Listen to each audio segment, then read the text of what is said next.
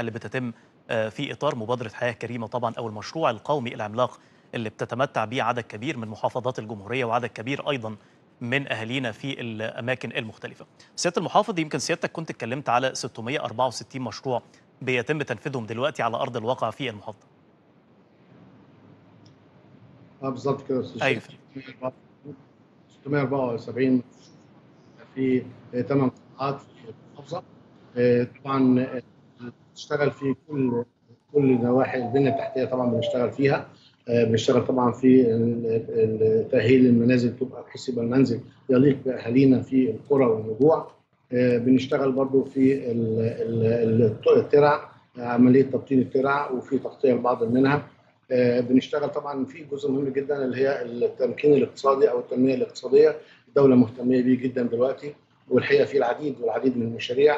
زي المجمعات الصناعية والحرفية اللي بتتعمل في هذه القرى آه، بحيث إن يبقى أبنائنا في القرى مش بس عايشين حياة كريمة وكمان عندهم تنمية اقتصادية يقدر إن هو من خلال عمله داخل القرية يقدر ي- يعيش حياة كريمة هو وأولاده ويعلمهم وبالتالي تبقى الحضر يبقى الريف والقرى آه، عايش آه، زي الحضر بل أفضل منه إن شاء الله. بإذن الله يمكن يا فندم من الحاجات الجميلة جدا والأخبار المفرحة إن الوحدة المحلية لمركز ومدينة نقادة فازت بجائزة المؤسسة الحكومية المتميزة ضمن جوائز التميز الحكومي طبعا اللي تم الإعلان عنها آه، من خلال أيام قلائل. وطبعا آه، بنتكلم على وزارة التخطيط والتنمية الاقتصادية هي اللي كانت متبنية هذه الجوائز. فعايز أعرف من حضرتك تع- تعقيبك على فوز هذا المركز بهذه الجائزة وإيه الدعم اللي حضراتكم ممكن تقدموه لكل المراكز آه، في المحافظة عشان تكون على نفس المستوى ونفس القدر من التميز على المستوى الحكومي؟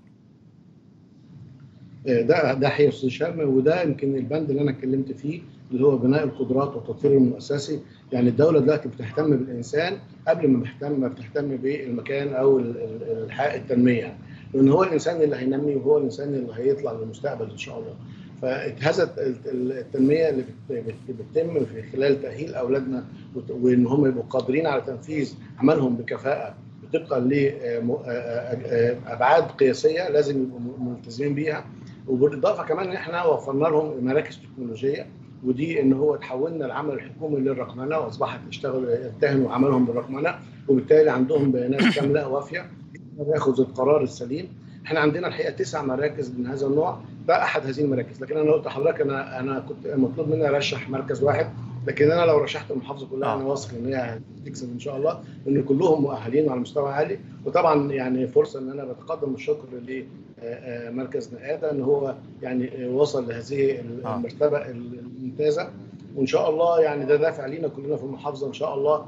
ومحافظه قنا من أفضل المحافظات بإذن الله يا رب يا آه، فندم في يا رب. آه، والناس تستاهل الحقيقة كل خير ومجهوداتكم أكيد مشكورة.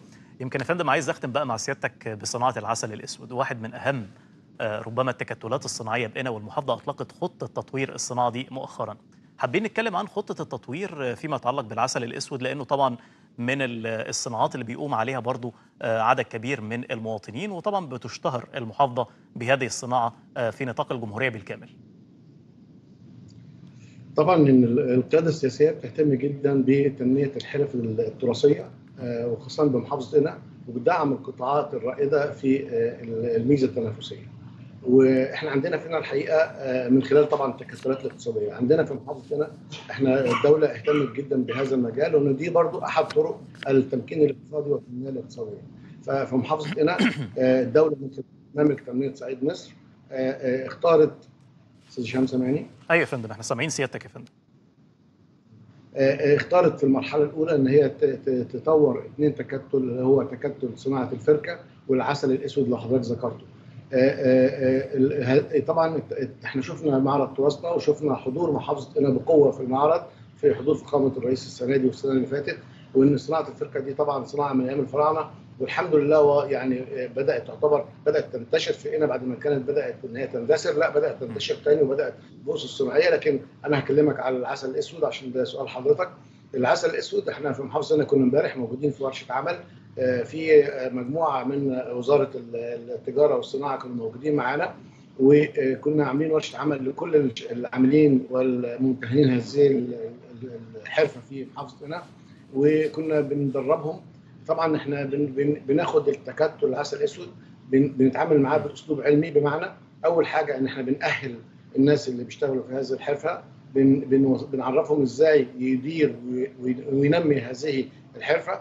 الحاجة الثانية بنطور له الإمكانيات يعني العصارة اللي بيشتغل بيها بنجيب له أو بن بنساعده في الحصول على أحدث أنواع العصارات عشان يبقى المنتج يبقى منتج سليم. المنتج نفسه بنبقى بنتابعه بحيث إن هو يتناسب مع المواصفات والقياسات المصرية بحيث يبقى لما لما ينزل السوق بل لما يطلع كمان الاصدار الخارجي ينافس بقوة.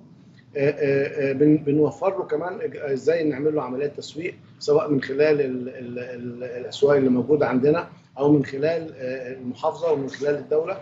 وبرضه من خلال الشبكه العنكبوتيه من الإنترنت إن إحنا بنعمل له صفحة الإنترنت بحيث إن إحنا نسوق له منتجاته. وكل دي في سبيل تنمية هذه الحرفة بحيث بدل ما كانت حرفة بسيطة بإمكانها عدد بسيط تبقى صناعة في محافظة قنا وليها اسم وليها لوجو خاص بيها. والحمد لله إحنا مشينا فيها خطوات كبيرة. الفركه وإن شاء الله كمان عندنا تكتل الطماطم وعندنا تكتل الفخار. هنحول الفخار بعد ما كانت حرفة ضارة بالبيئه هتبقى صديقة للبيئة وإن شاء الله دي برضه هتبقى من ضمن نقط القوة في محافظة قنا بإذن الله في المرحلة بإذن الله.